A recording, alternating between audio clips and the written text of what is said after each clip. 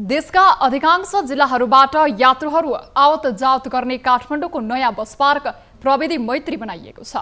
यो सँगै दसैँ तिहार जस्ता चाडपर्वको बेला भाडामा यात्रुहरू ठगिने जस्ता समस्या पनि अन्त्य हुने विश्वास गरिएको छ। एक रिपोर्ट।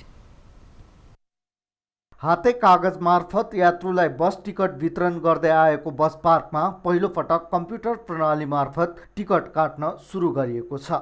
यसले यात्रुलाई सहज भएको छ। पहिला चाहिँ अब यस्तो हातले लेखेकोहरू बढी पाइन्थ्यो भने अहिले चाहिँ सबै डिजिटलबाट यो डिजिटलबाट कम्प्युटरबाट गरेको पाइयो।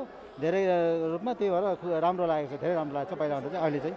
प्रविधिको प्रयोगसँगै यात्रुले अब बसको कम्पनी भाडा दर गन्तव्य स्थान लगायतका बारेमा स्पष्ट थाहा पाउनेछन् जसले गर्दा यात्रु ठगिनबाट जोगिने व्यवसायहरूको विश्वास छ। पहिलाको हेरिकन यात्रुहरू डबल टिकट परेर धेरै टेन्सन भएर झगडा लफडा गरेर यात्रा गर्नुपर्ने थियो। त्यो चाहिँ अहिले लगभग हटिसकेकै अवस्था भइसक्नु लागेको छ।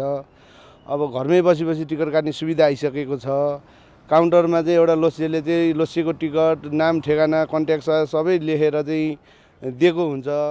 अब पहिलाको टिकटमा चाहिँ नाम आफ्नै नाम आफैले पढ्न नजाने टिकट चाहिँ काटिरहेको थियो। त्यो हटेकोमा चाहिँ धेरै राम्रो भइरहेको छ अहिले। कोरोना सङ्क्रमणको जोखिमलाई मध्यनजर गर्दै बस टिकट खरिद तथा बुकिङका लागि क्युआर कोड मार्फत भुक्तानी हुने व्यवस्था समेत मिलाइएको छ। टिकट काउन्टरलाई प्रविधि मैत्री बनाएसँगै बस पार्कको काउन्टरमा हुने अव्यवस्थित भिडभाड र यात्रु तानातानको अवस्था धेरै हदसम्म अन्त्य भएको कर्मचारीहरू बताउँछन्। पेसेन्जरले अब अगाडि हामी डिस्प्लेमा हामीले सिट चार्ट देखाइदिन्छौँ।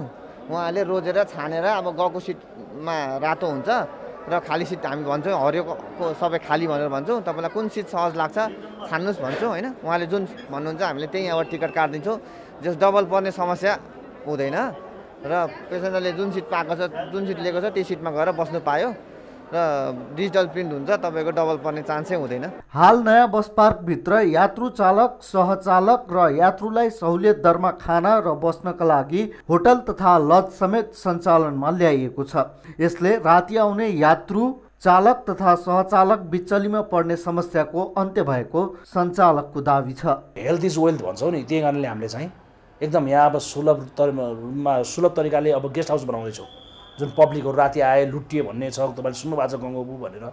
त्यहाँ कारण हामीले यहीँ हाइजेनिक खानाहरू एकदमै हाइजेनिक खानाहरू अब पेसेन्जरको लागि वेटिङ रुमहरूदेखि लिएर सबै बनाउँदैछ हामीले चाहिँ। लगभग चमेनागिरीहरू सबै रेडी भइसकेको छ। त्यसमा पनि भेजिटेरियन नन भेजिटेरियन भन्ने सेक्टर खाजा घर खाना घर हामीले छुट्याइदिएको छौँ हजुरको त्यो। नयाँ बस पार्कबाट भन्दा बढी जिल्लामा एसी डिलक्स र साधारण खालका सार्वजनिक सवारी साधन आवत जावत गर्दै आएका छन्। न्युज ट्वेन्टी फोर टेलिभिजनका लागि क्यामेरामा मदन सापकोटाको साथमा टिभी जर्नलिस्ट उपेन्द्र शाहीको रिपोर्ट।